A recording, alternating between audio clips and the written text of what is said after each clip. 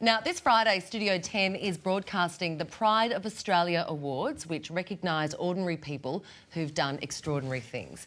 This week, we'll bring you some inspiring stories, like the story of nurse Annabel Pike, who has been nominated for the Pride of Australia Care and Compassion Medal. She can't hear a car horn warning her of danger. She can't hear someone calling her name. Annabel! Annabel! Annabel Pike is profoundly deaf.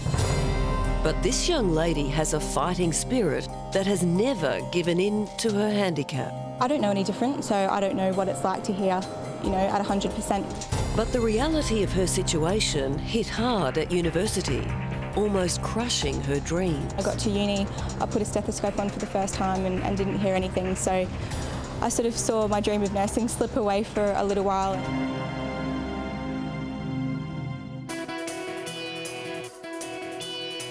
With a never give up attitude, Annabel and the university used a digital stethoscope and a hearing aid to make her dream of becoming a nurse a reality.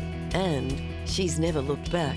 Now Annabel is helping others with hearing impairments, volunteering and fundraising for the Hear and Say Centre, which helps deaf children hear, listen and speak. In fact, she's raised over $25,000. It doesn't really matter how you help, but, you know, every little bit counts. It's because of her never give up attitude and selflessness she was nominated for the Care and Compassion Medal through Queensland's Courier Mail. And you can really get in there and make a difference. You certainly can. Annabel Pike is proof of that.